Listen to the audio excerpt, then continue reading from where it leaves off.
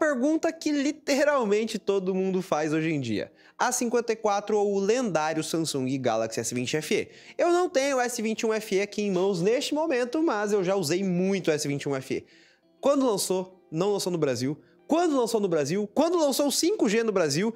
E, gente, ninguém aguenta mais falar do S20 FE, mas eu sei que ele vale a pena. O custo dele aqui no Brasil e a proposta que ele tem é muito interessante. Então é justa a pergunta, a dúvida com o A54 5G. Em alguns pontos eu prefiro o A54 5G, em outros pontos o S20 FE ainda leva a vantagem. Nesse vídeo aqui eu vou comentar minha opinião e eu quero saber a sua opinião nos comentários, então deixa o like se você não é inscrito, considere se inscrever e bora falar sobre A54 versus S20 FE. E vocês sempre me perguntam como eu consigo os valores que eu cito nos vídeos do A54, S20 FE e os outros produtos aqui do canal também. E eu sempre falo de cashback e cupom de desconto, então eu recomendo que você fique de olho no Cuponomia. Vou deixar um link aqui embaixo, se você se cadastrar, você ganha 5 reais, eu também ganho 5 reais, você me ajuda muito. Mas aqui no site, gente, mais de 2 mil lojas cadastradas e não são lojas desconhecidas. Tem Samsung, AliExpress, tem tudo quanto é site aqui, Casas Bahia, Kabum, Netshoes, até a droga raia, dá para comprar remédio com cashback e desconto. E você clica aqui e vai direto para o site da Samsung com o cupom recomendado, comprar lá no site da Samsung o A54. Tem vários cupons e promoções. O cupom tá valendo hoje é o 200 off você copia aqui, vai direto para o site da Samsung, tem extensão para navegador e também aplicativo para celular Android. Então, se cadastre no Cuponomia, fique de olho, faça as contas, às vezes tem cashback de 3,5%, 5%, 7%, às vezes está um pouco mais caro em um site, mas se você considerar o cashback, vai sair mais barato e você usa tranquilamente o cashback depois, depois de muito tempo testando, eu recomendo a Cuponomia, então tem o link aqui embaixo, se cadastre pelo meu link, ajude o canal e bora voltar para o vídeo. Eu gosto mais no A54 do design, que agora é muito similar à linha S23.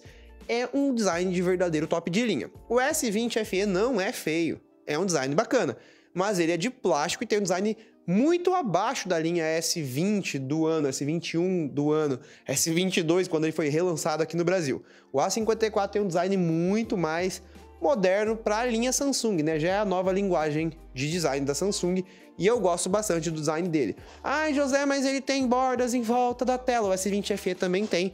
E a borda não é tão grande assim, não é maior do que a borda do iPhone 11, do que do iPhone 12, do que do iPhone 13. É uma tela AMOLED 120 Hz de extrema qualidade. Eu gosto muito da tela do A54 Sim, tem uma borda, não, não incomoda e você se adapta bem rápido.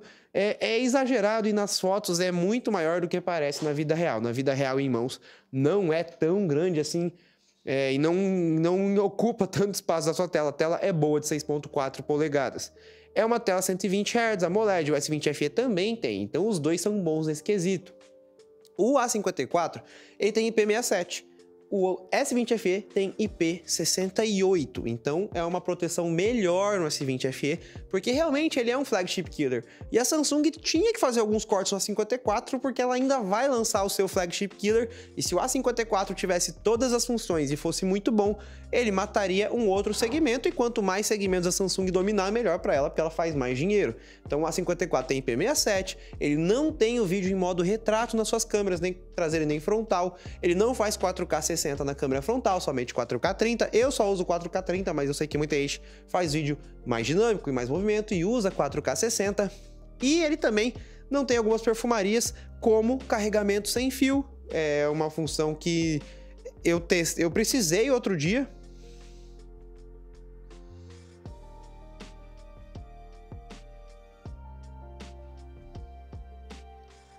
I'm making a song. Eu precisei outro dia porque eu fiquei sem bateria, mas eu tenho meu Z Fold, estava com S23 Ultra, eu poderia usar o carregamento reverso. Liguei e aí que eu descobri que o A54 não tem carregamento sem fio. O S20 FE tem carregamento sem fio. Então ele tem alguns cortes sim, porque ele é um intermediário. Por outro lado, eu achei o design mais legal e as câmeras dele eu acho mais interessantes. A câmera traseira é com certeza melhor que a do S20 FE. Testei o S20 FE recentemente, mas não agora ao mesmo tempo. Mas eu vou pegar sim o S20 FE para comparar lado a lado com o A54 em câmeras. Mas na minha experiência, o A54 tem câmeras melhores. Ponto. Na câmera frontal é mais ou menos, a estabilização é um pouco melhor no S20 FE, mas no geral o A54 tem câmeras melhores. E o S20 FE, querendo ou não, só é de 2020, ele não vai mais atualizar, o Android 13 é a última atualização dele. Já o A54 é um celular de 2023, o Android 13 é a primeira atualização dele, tem mais 4 anos, né, 2023, 24, 25, 26 de atualização, se eu não me engano é isso.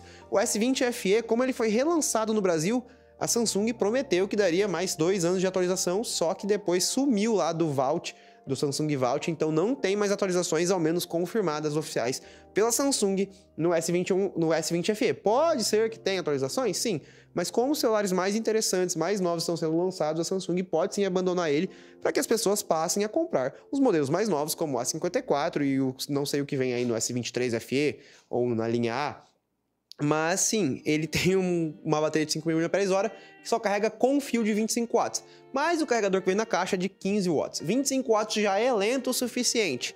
15 watts é muito lento, gente. Demora muito para carregar com o carregador que vem na caixa, tipo uma hora e meia. E com o carregamento de 25 watts ainda leva mais de uma hora, uma hora e 10, uma hora e 15. É, é lento. Só que a bateria é boa, faz mais de 5, 6 horas de tela.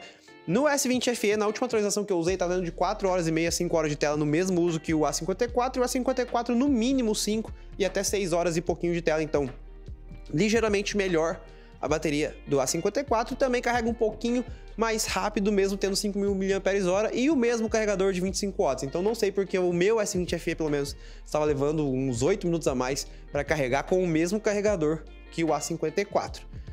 No final do dia, é o preço que vai ser o determinante. Ah, o processador. Snapdragon 865 ainda é melhor do que esse Exynos 1380. Tem uma pontuação melhor no AnTuTu, tem um pico de desempenho muito superior. Para jogar jogos pesados, se você tiver uma boa refrigeração, um cooler ou um ar condicionado, talvez o, o Snapdragon 865 saia bem melhor do que o Exynos 1380. Mas o S20 FE esquenta um bom tanto, e não que o A54 não esquente. É um Exynos, ele vai esquentar, só que o A54 está lidando melhor o termo, com o Thermal Throttling do que o S20 FE, na minha experiência. Joguei Genshin Impact, Fortnite, Wild Rift, emuladores e o A54 foi bem em todas essas atividades. O S20 FE também vai bem, mas o Thermal Throttling foi muito mais nítido quando eu estava jogando o S20 FE. Tem uma playlist só jogando o S20 FE aqui no canal, do que quando eu usei o A54. Então, no S20 FE, o thermal throttling foi maior do que o A54. O processador é mais potente, o processador faz mais pontuação no tutu, tem um pico de desempenho superior, mas esquentou mais e teve maior queda de desempenho. Na minha experiência, vou, vou ser enfático aqui, é a minha experiência, os meus testes, a minha opinião. Preço vai ser o grande determinante, como eu disse. Qual tá mais barato, o A54 ou o S20 FE? Pelo mesmo preço, qual é a minha prioridade? Modo cinematográfico, né? Modo é, retrato em vídeo ou uma câmera um pouco melhor? Processador um pouco melhor ou 4 anos de atualização e um pouco mais de estabilidade? Design um pouco melhor ou IP68? Tudo isso você tem que colocar na balança porque é o seu uso. O que, que você tem prioridade? Eu preciso de um pico de desempenho maior e me viro com a refrigeração? Ou vou pegar um celular que está um pouquinho mais balanceado e não vou ter o melhor desempenho possível pelo preço? Quero um celular com a bateria um pouco melhor de 5.000 mAh, que carrega em uma hora e pouco? Ou quero um celular que, apesar da bateria durar um pouco menos, ele vai ter um desempenho melhor e carrega sem fio? Tudo isso é você que tem que ver o seu padrão de uso, o seu tipo de usuário. Eu, José Júnior, com certeza compraria o A54, principalmente pelas atualizações de software. Digamos que nesses quatro anos, ano que vem, sei lá, como o S20 FE vai sair do mercado, chegue o vídeo em modo retrato, porque dá para colocar numa atualização, esse processador aqui é bom o suficiente. Outros recursos que nós não sabemos ainda, outras skins do Android, a One UI 6, 7, eu acho que ele vai até a 7, esse carinha aqui.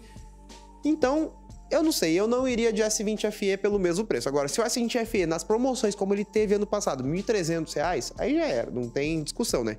R$ 1.300 o S20 FE é muito matador, muito mesmo. Não tem nem discussão.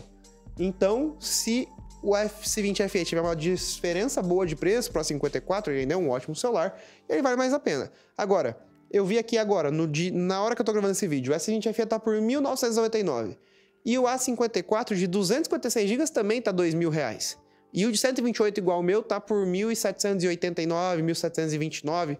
Eu já vi por 1.600 nas Casas Bahia.